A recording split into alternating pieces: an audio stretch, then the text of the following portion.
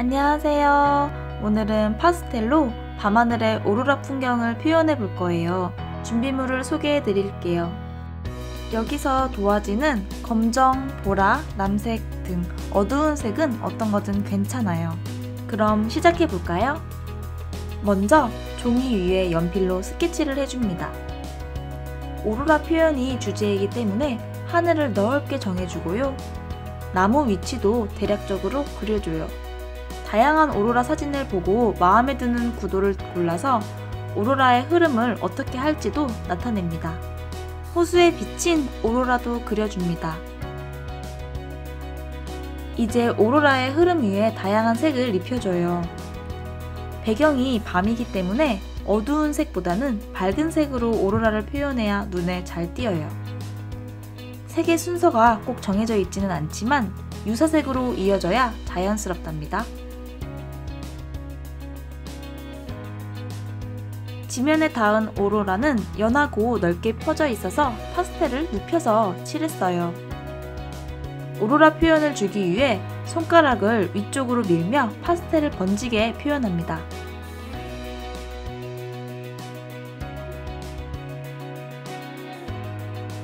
그리고 지우개로 스케치선의 아래쪽에 번진 파스텔을 지워요.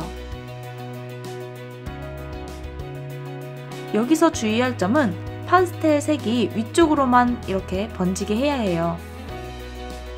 손가락을 아래를 향한다거나 좌우로 비비지 않고 위쪽으로 일관되게 합니다.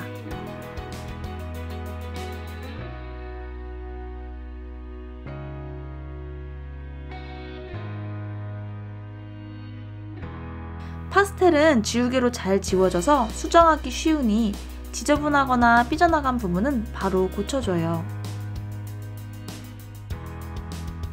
이렇게 다양한 색의 화려한 오로라가 그려졌어요.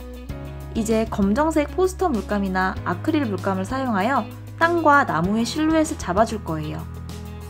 저는 둥근 붓을 준비했고요. 납작붓도 좋습니다. 땅 위에 나무 기둥을 그려서 자리를 잡아주고요. 큰 가지를 그린 후 붓 끝으로 콕콕 찍어서 잎사귀를 표현합니다. 전에 올린 나무 그리기 영상을 참고하시면 훨씬 쉬우실 거예요.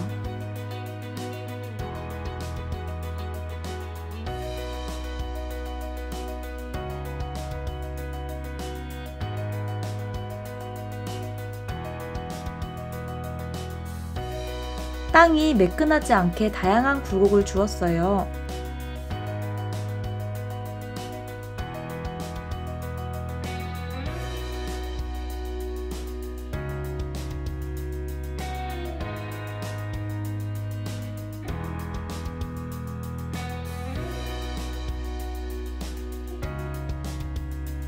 아주 섬세하게 묘사하진 않았지만 텐트도 그리고 사람들도 있답니다.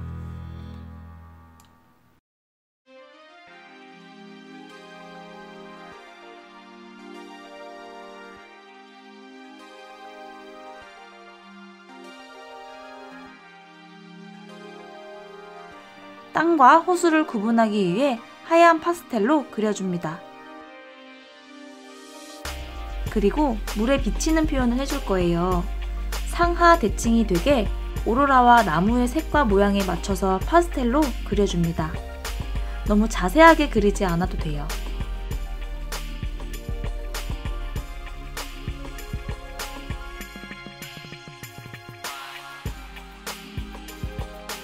오로라의 밝음을 돋보이게 하기 위해 밤하늘에 검정색 파스텔을 살짝 추가하였어요.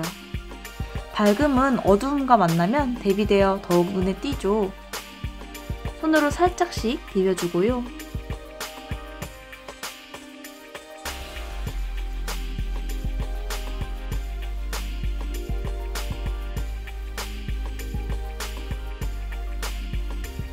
오로라가 물에 비치기 때문에 다양한 색을 조금씩 추가하여 비벼줍니다.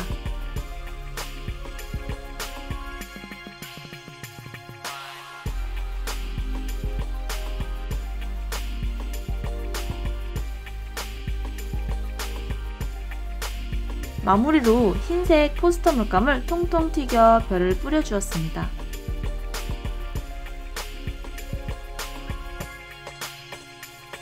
흰색 방울이 크게 튄 곳은 손으로 살짝 터치하여 별똥별도 그려주었어요.